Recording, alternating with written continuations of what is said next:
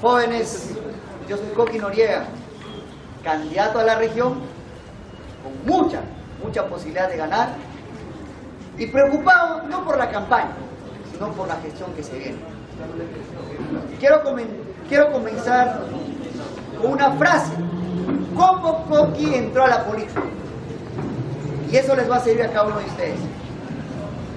A lo mejor tiene que pasarte algo, una injusticia, algo. Ingreso a la universidad en el primer intento en la nacional. Y me había averiguado que tenía que entrar al comedor de la universidad. Porque yo venía de, de afuera y tenía que comer en la universidad. Porque si no comía en la universidad, era complicado para mí terminar la carrera. ¡Bravo!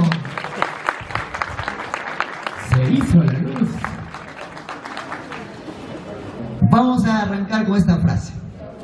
Después del anochecer viene el amanecer. Después de la tormenta viene la calma. Y después de los malos políticos venimos nosotros, los jóvenes, a cambiar la historia de antes.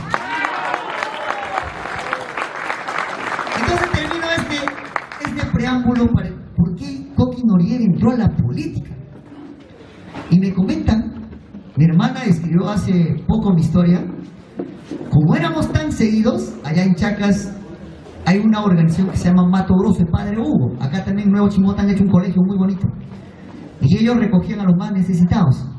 Y como éramos casi pegaditos, yo era el quinto, mi madrina, que no nació en el hospital, nací en la casa, le había dicho, comadre, ¿por qué no se lo llevan a Coqui los italianos?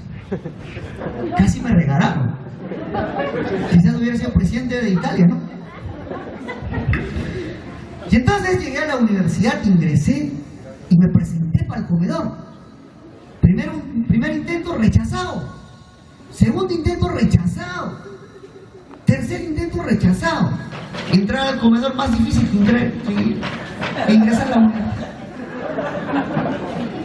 Y fui a conversar con la asistente social y le digo, señorita, vengo insistiendo y no puedo entrar al comedor. Y me dice, claro, tu apellido es Noriega, hay un juez acá en el Poder Judicial, es tu tío que te ayude económicamente, acá es para los que no tienen. Y yo le dije, pero yo necesito el comedor porque ni le conozco. Y tercer intento, rechazado. Insistía todos los días, porque en el comedor se comía pues desayuno, almuerzo, sola con un sol 50. Y por ahí uno sale del comedor y me da la oportunidad de entrar, porque uno lo había dejado. El primer día en el comedor de la universidad yo tenía 17 años, voy con mi charola y me siento al lado, de un amigo que ahora está conmigo, Martín. Él había sido dirigente. Martín, le digo, ¿qué hago para quedarme en el siguiente ciclo y que no me saquen del comedor?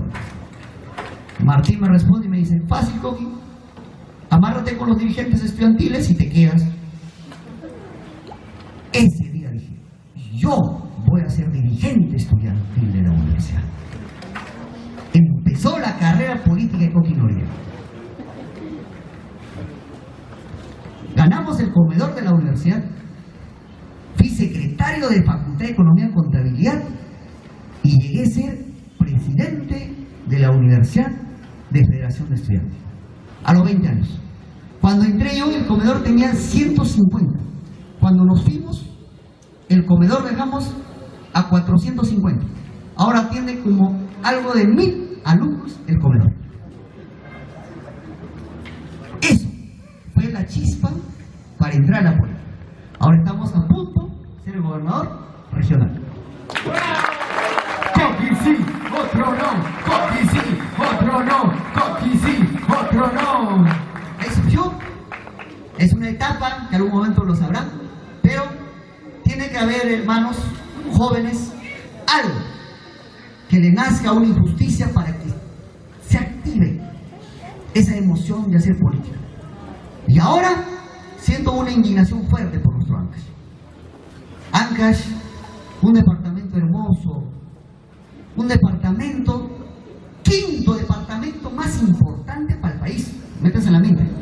Quinto, en competitividad y desarrollo. ¿Sabes en qué puesto estamos? Uy.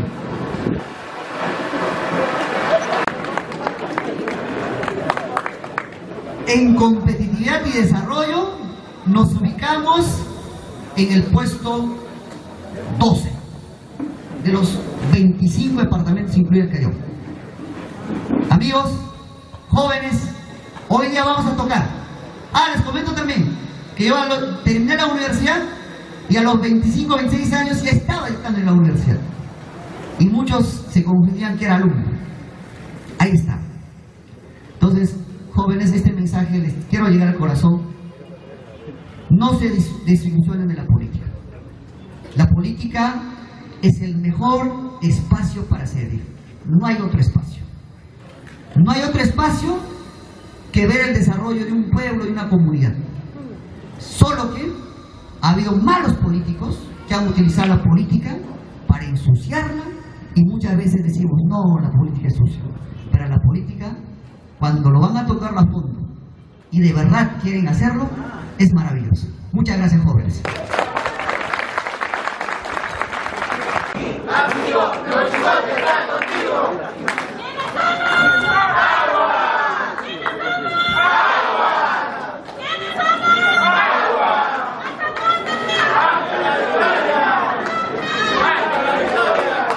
Muy buenas noches a todos los jóvenes aquí presentes y hasta una nueva oportunidad.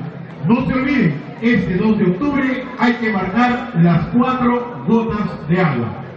Voto de conciencia. Muy buenas noches.